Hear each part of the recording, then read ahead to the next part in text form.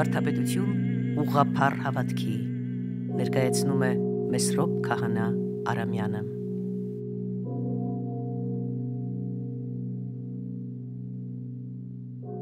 Սիրելի ունկնդիրներ,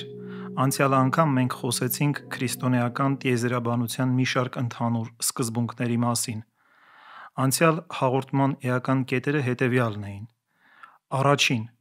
նյութական կամ զգալի արարչության քննությունը ցույց է տալիս, որ քրիստոնեական աստվածաբանությունը մարդկությանը տվել է ժամանակի, տարածության և նյութական գոյության էապես նոր պատկերացումներ։ Մինչև քրիստոնեությունը մարդկային միտքը խարխափում էր հին աշխարհի տիեզերաբանական պատկերացումների անորոշությունների և ծայրահեղությունների մեջ։ Առանց Աստծո և առանց ուղղափառ հավատքի հնարավոր չէ հասկանալ նյութական և աննյութական աշխարհների գոյությունը, նպատակը և պատճառականությունը։ Երկրորդ. Ծննդոց գիրքն ասում է. «Երկինքն ու երկիրը և ամբողջ տիեզերքը արարվել են ի սկզբանե կամ սկզբում»։ Ըստ Սուրբ Բարսեղ կեսարացու, ի սկզբանե նշանակում է, որ աստվածային ներգործությունը ակնթարթային էր և անժամանակ։ Երրորդ. Այս առաջին ակնթարթը ժամանակից դուրս չափում է, այն սահմանային պահ է և դուրս է տևողությունից։ Այսպիսի հանկարծակիություն ունի առաջին ակնթարթը, երբ ի հայտ եկավ երկինք և երկիր անվանվող արարչական գոյության ամբողջությունը։ Արարչությունը հայտնվում է ակնթարթորեն, միաժամանակ հավիտենական և ժամանակավոր, ժամանակի և հավիտենականության սահմանագծում։ Չորրորդ. Գոյություն ունեն հավիտյանների երկու տեսակ՝ աստվածային և արարչական։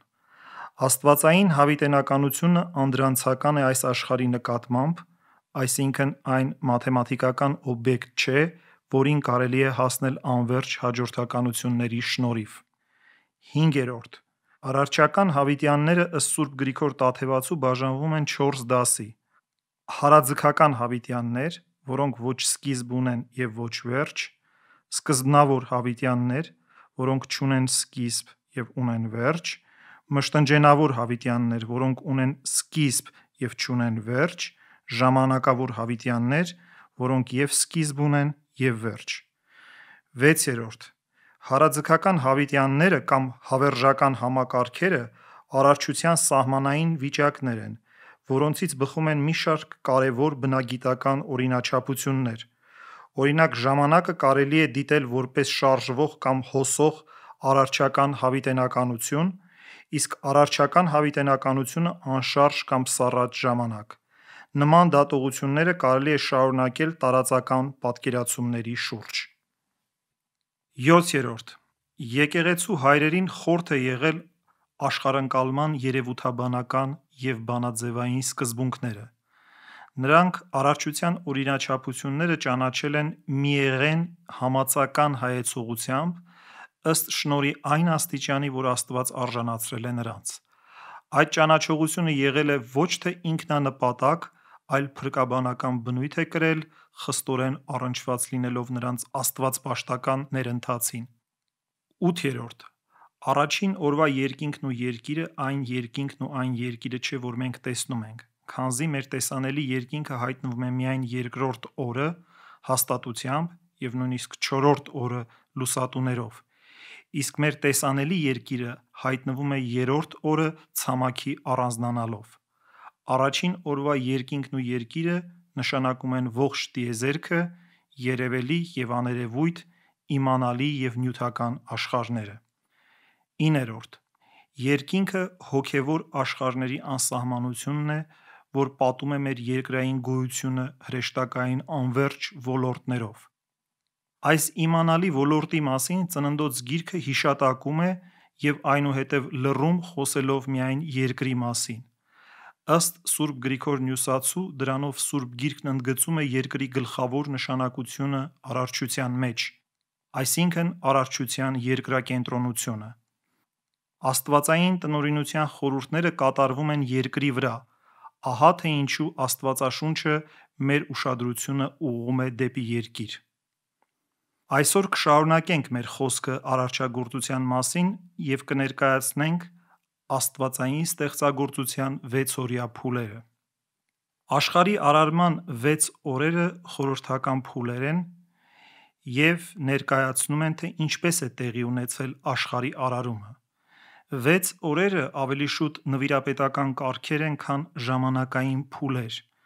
Այս կարգերի ամբողջությունը մարդն է, որի արարումով եզրափակվում է արարչագործությունը: Այսպիսով, 6-օրյա արարչագործության պատմությունն ասում է այն մասին, թե ինչպես տեղի ունեցավ աշխարհի արարումը: 6 օրերը խորհրդանիշներ են մեր շաբաթվա օրերի, սակայն դրանք ավելի շուտ նվիրապետական բնույթ ունեն, քան ժամանակագրական: Ծննդոց գրքի առաջին գլխի երկրորդ համարը շարունակում է արարչագործության պատմությունը: Երկիրը (այս նկատի ունի տիեզերքը) անձև ու անկազմ էր, խավար էր տիրում անդունդի վրա: Սա խառնուրդն է դեռևս չդիֆերենցված տարրերի: Աստծու հոգին շրջում էր ջրերի վրա: Ինչպես Բարսեղ մեծն է ասում, ինչպես թռչյունը, որ նստում է ձվերի վրա: Իսկ ջրերը այստեղ նշանակում են տարրերի ճկունությունը: Եվ Աստված ասաց. «Թող լույս լինի»: Սա Աստծու առաջին հրամանն էր: Նրա խոսքը ներթափանցում է տարրերի մեջ և առաջ բերում կյանքի առաջին ձևավորումը՝ լույսը: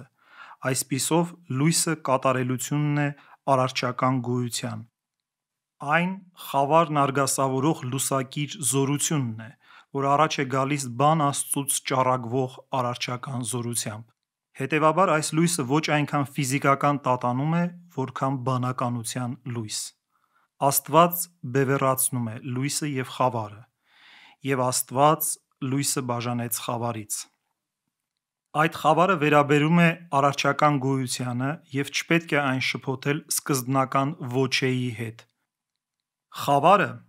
որ երեւաց առաջին օրվա վերջում, արարված կյանքի պոտենցիալ պահն է: Այն իրենից ներկայացնում է միանգամայն բարի, պտղաբեր իրականություն, նման հողին, որ աճեցնում է հացահատիկը: Աստված չի ստեղծել չարը: Առաջին օրվա կյանքում բացասական խավարի համար տեղ չկա: Առաջին օրվա դրական խավարը արտահայտում է պտղաբերության ընդերքային խորհուրդը, կյանքի խորհրդի սկզբունքը, խորհուրդներ, որոնք հատուկ են այն ամենին, ինչն օժտված է ծնելիությամբ: Երրորդ օրը Աստված վերջնականապես բաժանեց ներքևի ջրերը վերևիններից: Այսինքն երկնավոր հաստատությամբ սահմանափակված երկրավոր տիեզերքը հրեշտակային հավիտյաններից կամ էոններից, որոնց մասին Ծննդոց գիրքը հետագայում չի խոսում: Երրորդ օրը աստվածային հրամանով սկսվում են միմյանցից բաժանվել տիեզերական տարրերը, որոնց անորոշությունը խորհրդանշվում է ջրեր եզրով: Ջրերը արդեն բառի ուղղակի իմաստով հավաքվում են և հայտնվում է ցամաքը, որին հրամայվում է արտադրել կյանքի առաջին տեսակը՝ բույսերը: Եվ երկիրը հնազանդ է բանին, կյանքի սկզբին, որը միաժամանակ ամենասուրբ երրորդության երկրորդ անձն է և նրա կարգավորող զորությունը: Չորրորդ օրը երևում են լուսատուները իրենց հավասարաչափ շրջապտույտով: Բանի հրամանը թափանցում է տեսանելի երկնքի կարգի մեջ: Նախորդ օրը երևան եկած կյանքը պահանջում է ժամանակ: Օրվա և գիշերվա շարունակական հերթափոխ: Առաջին օրերի ստեղծագործ միաժամանակությունը արարչագործության համար դառնում է հետևողականություն: Հինգերորդ օրը բանը արարում է ձկներին և թռչյուններին: Ջուրը, խոնավությունը իբրև տարր հրաման է ստանում արտադրել դրանց: Այդպես հաստատվում է հետաքրքիր մերձավորություն լողացող և թռչող արարածների միջև, որոնց արտաքին ձևերը զուրկ չեն ընդհանրություններից, ինչպես նաև ջրի և օդի միջև, որոնք ունեն հոսանելիություն և մի շարք այլ ընդհանուր հատկություններ: Այստեղ մենք հստակորեն զգում ենք, որ մեր առջև ոչ թե ժամանակակից կոսմոգոնիան է, այլ կյանքի և նրա նվիրակարգության այլ ըմբռնում, որի համար որոշիչ նշանակություն ունի նյութական ձևի խորհուրդը: Այն մեզ ուղղում է դեպի արարչության իմանալի խորքը: Այսպիսի տեսությունը դարձել է շատ դժվար մեր ընկած բնության համար, բայց մենք կարող ենք այն ունենալ նոր արարչության մեջ, եկեղեցու մեջ, իբրև ծիսական խորհրդական տիեզերք։ 6-րդ օրը հողը, որպես տար, իր հերթին նույնպես հրաման է ստանում արտադրել կենթանիներ։ Եվ հանկարծ Սուրբ գրքի պատմությունը էապես նոր երանգ է ստանում։ Արարենք, ասում է Աստված։ Ինչ է նշանակում այս փոփոխությունը։ Հրեշտակային հոգիները ըստ Իսահակ Նինվեացու ստեղծվեցին լռության մեջ։ Առաջին խոսքը լույսն էր, հետո Աստված հրամայում է եւ օրհնում է։ Սուրբ Գիրքն ասում է. «Եվ Աստված տեսավ, որ այն բարի է»։ Բայց 6-րդ օրը կենդանիներին ստեղծելուց հետո, երբ Աստված ասում է արարենք մարդուն մեր պատկերով և մեր նմանությամբ,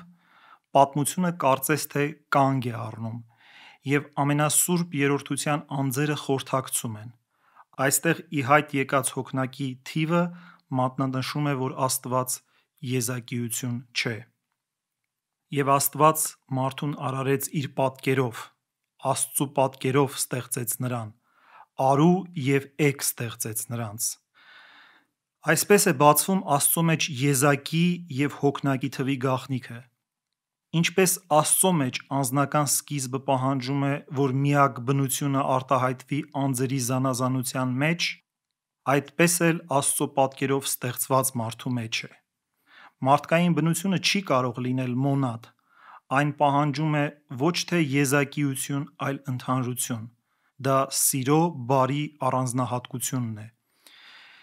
Հետո աստվածային կարգադրությունը՝ «Աճեցեք և բազմացեք, լցրեք երկիրը և տիրեք նրան», հաստատում է կապը սեռերի միջև և առաջին ամոլի իշխանությունը տիեզերքի նկատմամբ։ Բայց այս դրախտային սերը անշուշտ տարբերվում է մեր ընկած բնության ոչնչացնող սեքսուալիզմից, ինչպես որ մարդու աշխարհի նկատմամբ տիրական սրբությունը տարբերվում է այժմ տիրապետող փոխադարձ ոչնչացումից։ Աստված ճշտում է, և երկրի վրա բոլոր կանաչ խոտերը, բոլոր կենդանիների համար թող կեր լինի։ Չպետք է մոռանալ, որ աշխարհի արարման պատմությունը նկարագրված է ընկած աշխարհի չափով։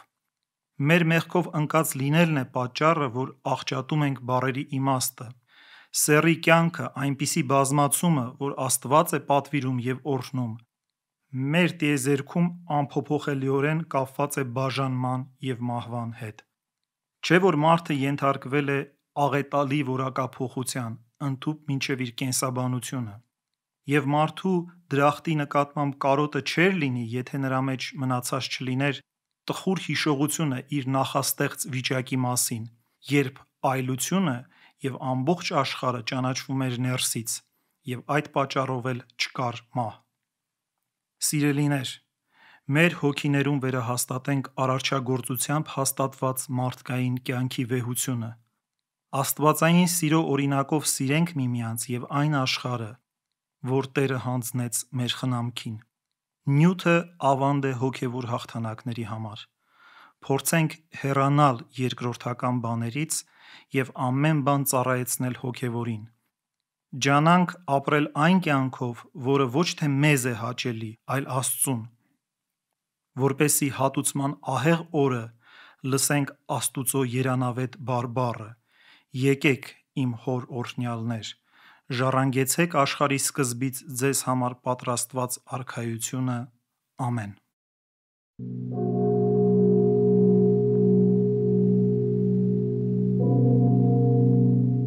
Վարդապետություն ՝ ուղղափառ հավատքի շարքի հերթական հաղորդումը ներկայացրեց Մեսրոպ Քահանա Արամյանը։